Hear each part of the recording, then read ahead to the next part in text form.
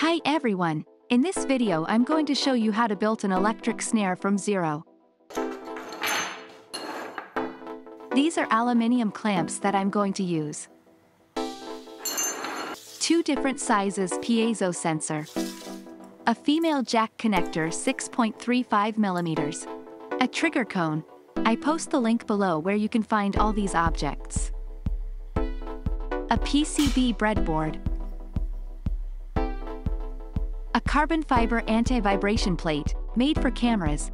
You can find this easily on AliExpress. Some Velcro. And obviously a lot of screws.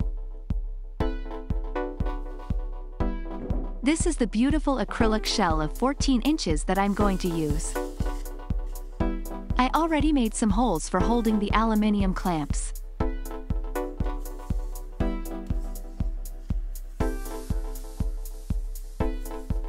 This bigger one is for the female jack connector.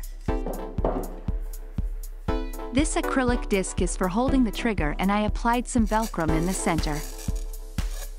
Let's start to assembly. Beginning with the clamps.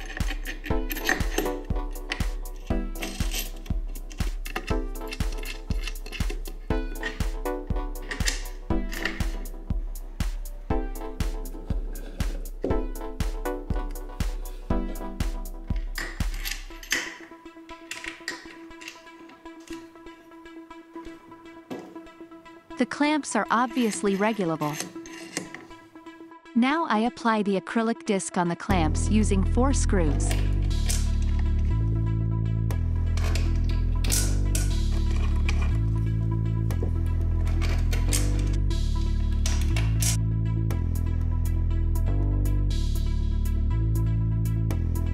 Okay, about piezo connections.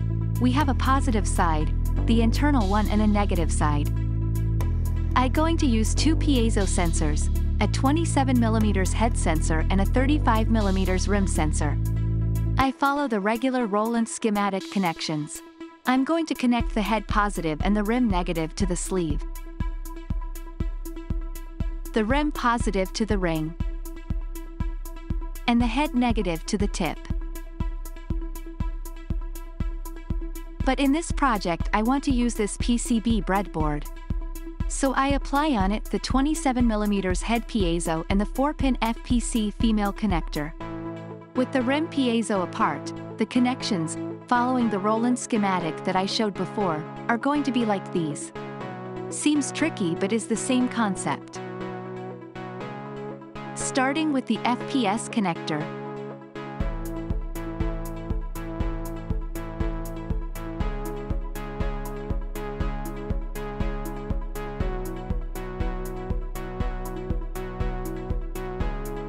This cable is the one that I'm going to connect to the rim positive, corresponding to the ring. Now it's time to stick the 27mm head piezo to the PCB.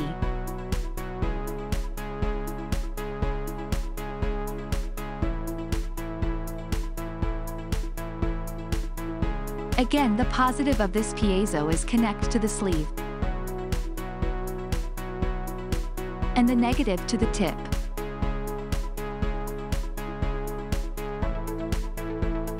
This cable is the one that we are going to connect to the negative rim piezo that is connect to the positive head piezo. I stick the 35mm rim piezo to the bottom carbon plate. Very solid as always. I'm going to stick the PCB made before to the top carbon plate. These cable passing through the holes are the ones to connect to the rim piezo as I said before.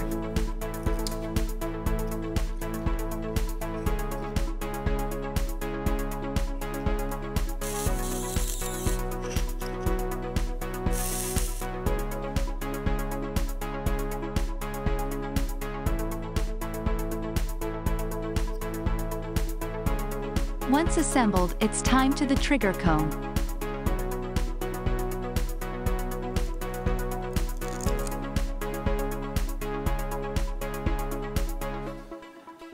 This is the head and rim trigger. with some Velcro on the bottom.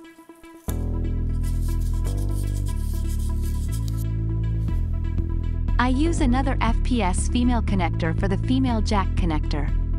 In this way with a flat cable I'm able to connect the jack connector to the trigger.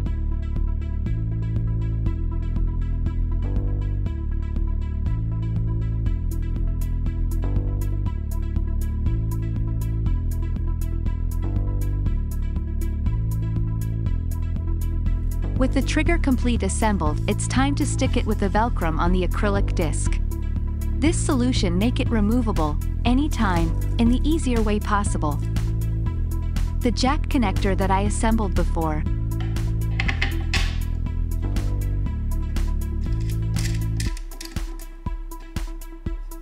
The flat cable that I'm going to use to connect the trigger with the jack connector. I love this one because it's a clean connection and especially replaceable.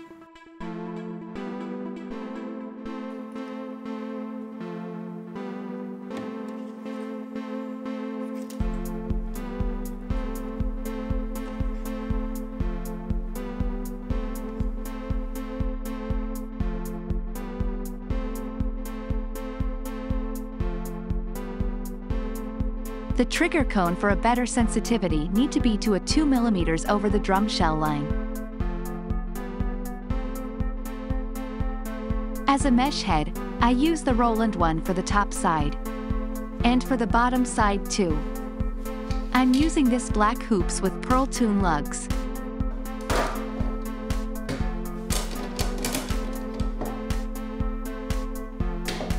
For a better strength I use this metal disc made from an old mesh head.